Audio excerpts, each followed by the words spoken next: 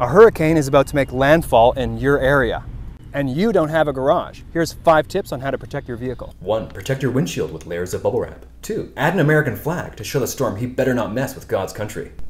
3. Fill the interior with rice in case water does get in.